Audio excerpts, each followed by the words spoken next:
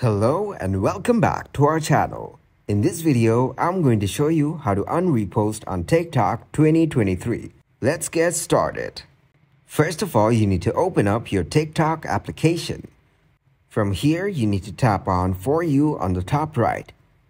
Now scroll through and select what you want.